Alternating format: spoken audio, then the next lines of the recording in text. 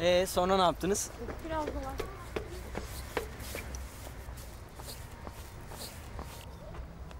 Yiğit gelsene sen bir saniye buraya. Ne var? Ne oluyor? Ne demek ne oluyor abiciğim konuşuyoruz. Ya Oğuz ne oluyor? Çok sıkı fıkısınız bakıyorum. Hani sen bu adama sinir oluyordun? Kimle istersem konuşurum. Seni ilgilendirmez. Öyle mi? Bu kadar kolay yani. Hop hop hop. Ne yapıyorsun abicim sen? Elini. Kendine gel Oğuz. Gel. Yani Ayrılın ne ne yapıyorsunuz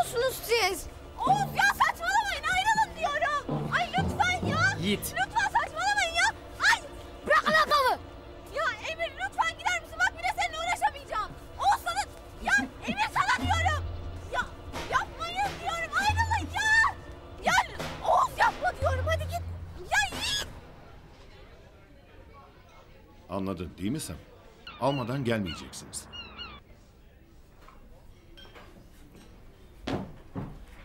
Gidiyor muyuz? Gidelim.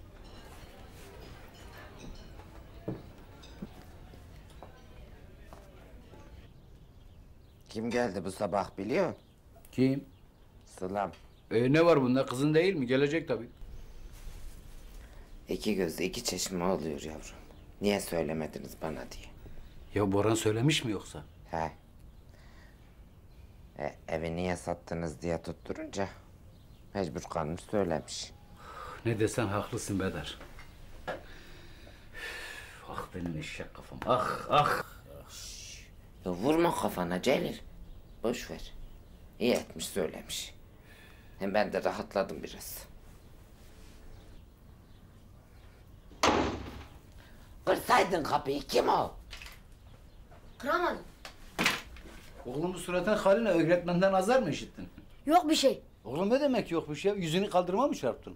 Gitmeyeceğim ben bir daha okula. Vıy. O niyeymiş? Herkes bir acayip orada.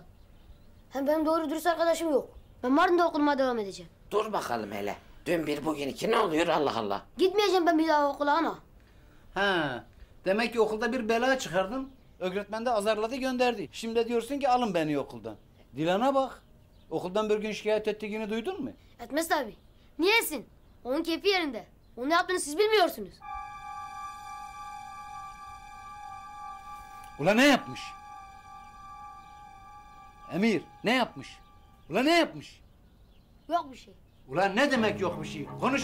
Bir lafa başladın mı sonunu getireceksin tamam mı? Kırar mı kafanı ne olmuş?